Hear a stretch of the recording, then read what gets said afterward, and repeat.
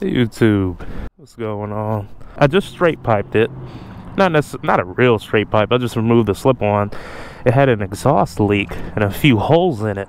I don't know how the previous owner did that, but listen. I don't know if the mic picks it up good.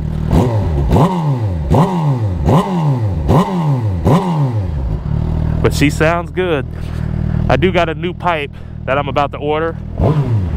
About to grab an M4 slip-on exhaust for now.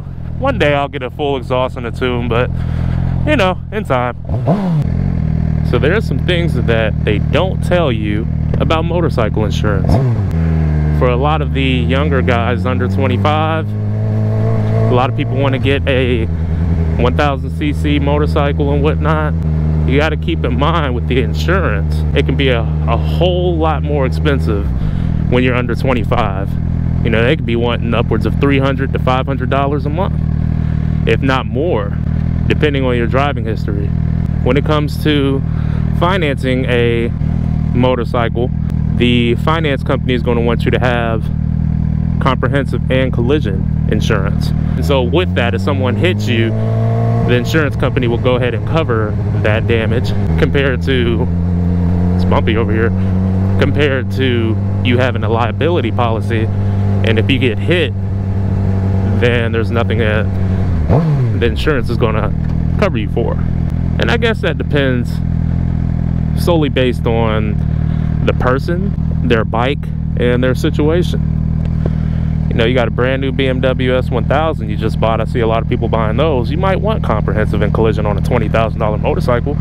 M package, I believe, is like 25,000, depending on what state.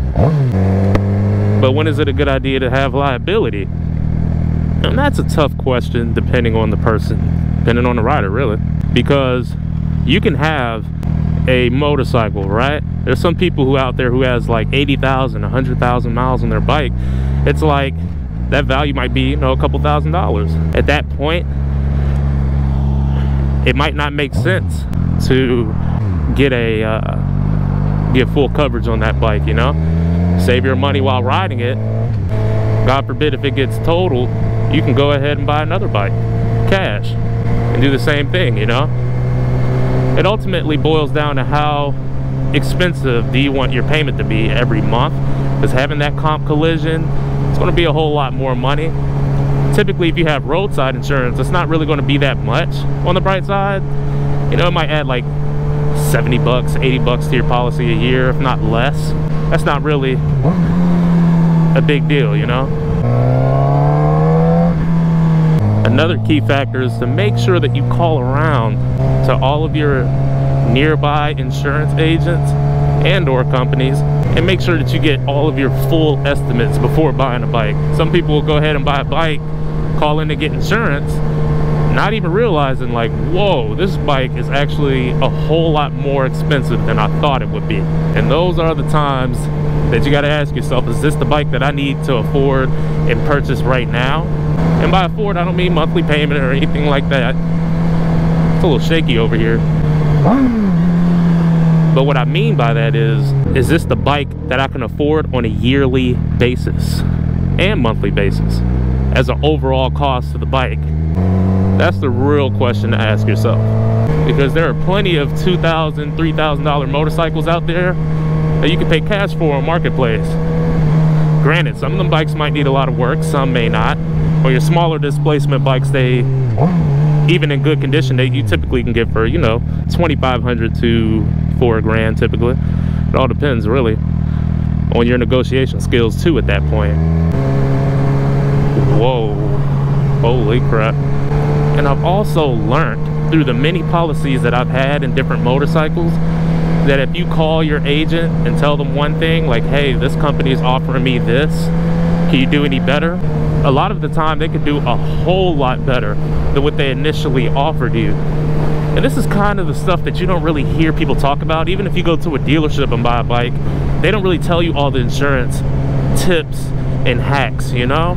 It's like you're just left to figure out majority of this stuff alone, which is so crazy. But that's what I've also learned in life with everything, not just insurance, but a lot of the time, you just got to use your own common sense. And a lot of the time, those extra steps that you do, it can just be the minor things. Those little steps is what ends up guaranteeing your success and coming out on a better side of things, you know? Definitely don't just stick with one insurance uh, quote and go from there, even if you have an agent that you've done business with a lot of the time. Because I've had an agent that I've done business with personally for a few years now.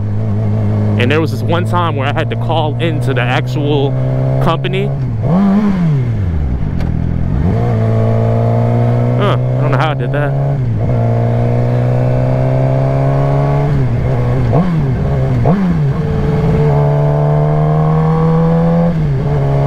And uh, need to replace the clutch on this bike. It's about that time. There was this one time that I uh, called into the Progressive actual corporate number and I was able to save and maneuver my plan, my policy a whole lot better than what my agent was able to do.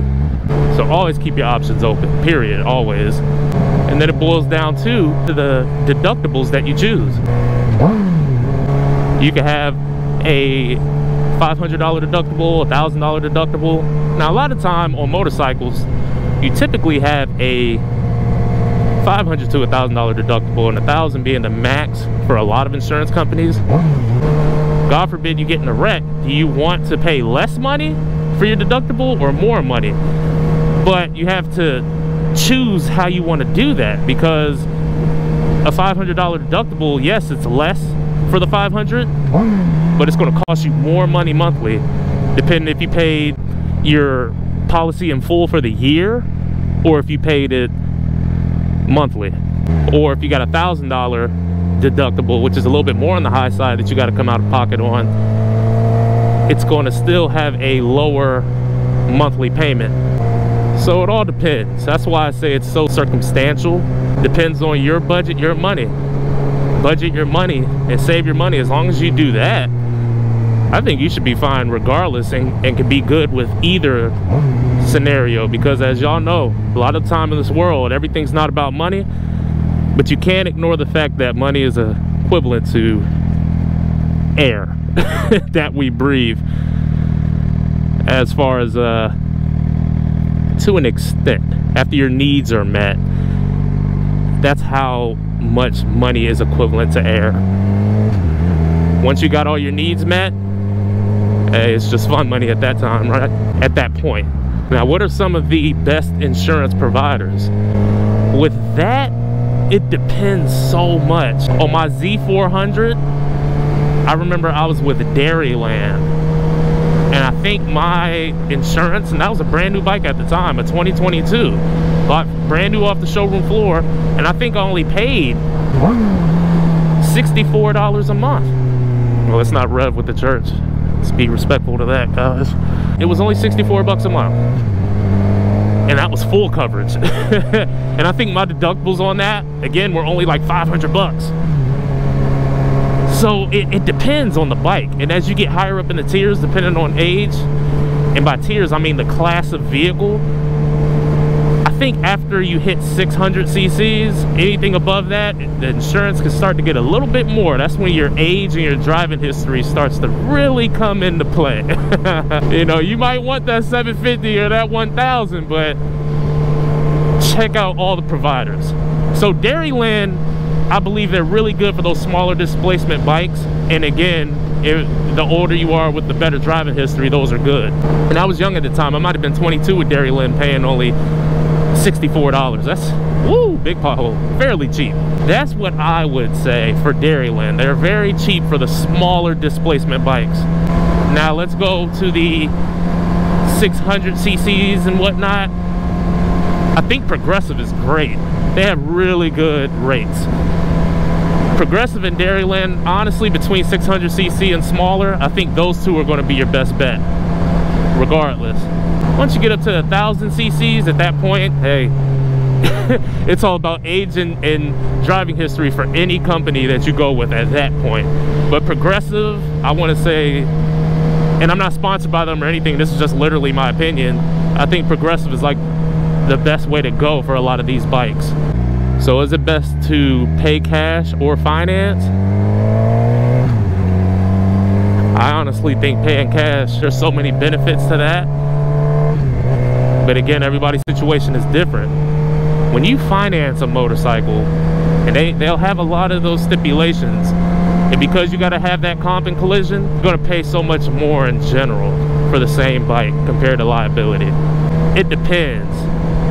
And then as far as financing, ooh, I love those downshifts. As far as financing, the best way to come out on top with that I would say get your buyer's order. And give you the exact full process. Get your buyer's order from the dealership. What you're going to do is do your negotiations which a lot of dealerships don't have much wiggle room on the price because they have slim margins but shake them down as much as you can. Get your out the door price. What you're going to do is take that after you negotiate your fees and, and discounts and everything go to your local credit union depending what state you are. Doesn't matter what credit union. Go to any credit union.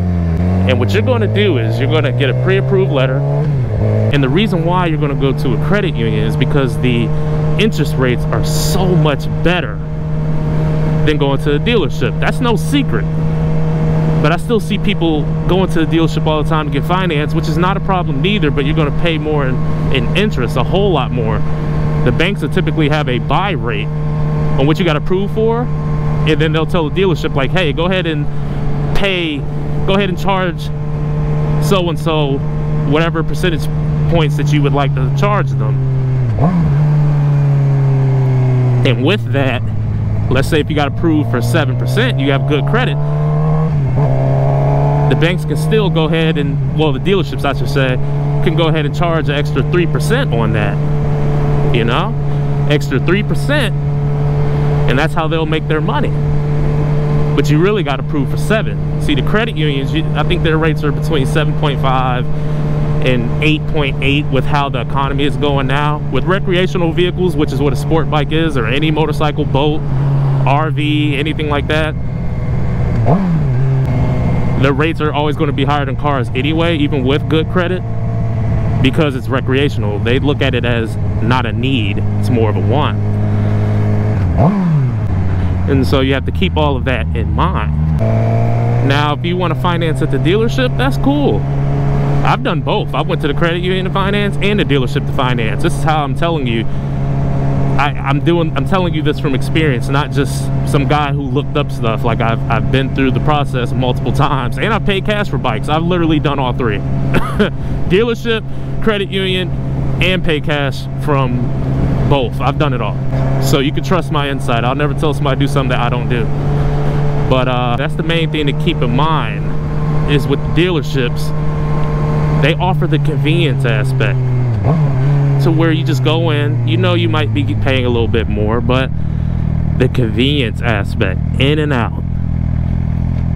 But one thing I would say and I'm guilty of this I've made mistakes I would say just take your time man. You know I know you don't want to go through the credit union and then go to the dealership but do that.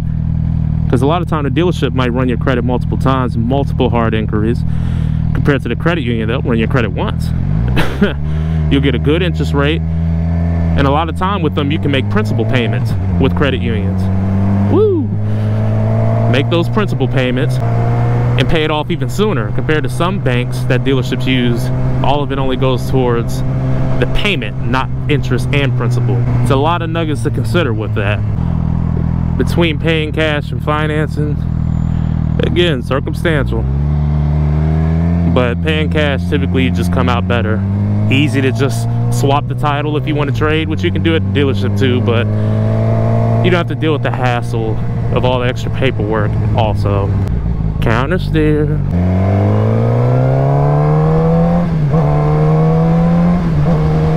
nice Harley and then another pro to paying cash which is obvious no monthly payment all you got to do is worry about your insurance. I think that's one of the main goals in life. Financial independence. The less bills you have and the less amount of money those bills cost, I mean, you're that much closer to retirement, you know? which is a little far to think about, obviously, but it's something to keep in mind, something to consider. These bikes are fun, whether it's a cruiser, a Grom sport bike, anything, man. These bikes are fun, but the whole objective is to not get screwed when buying one because that one decision can dictate your whole future. Imagine you get a payment that's too much, plus your insurance is too big of a payment. Let's say even if you sign for 48 months, that's four years, guys. What would you be restricted from doing in your everyday life? I didn't know they were building this. What would you be restricted from doing for your everyday life? Because you got screwed on a motorcycle price payment and not doing thorough research on insurance before you made a purchase for that bike. Life's all about decisions, man. We're not taught about a lot of this stuff in school, which is it's just mind-blowing. So I'm not no financial advisor or anything like that. I'm one man telling you my experience and hopefully you can take that and grow with it, you know? We've all done dumb things, and we've all learned from things, and got to keep that going and be able to pass the torch to everyone else around you, especially if you have kids or considering having kids. Get through all of that now so they can have a better life. And if you're married or got a got a spouse or relationship or whatever so they can have a better life too. But yeah that's going to be the end of this video. I hope you guys enjoyed. Comment below any tips that y'all have in regards to insurance and purchasing of a motorcycle.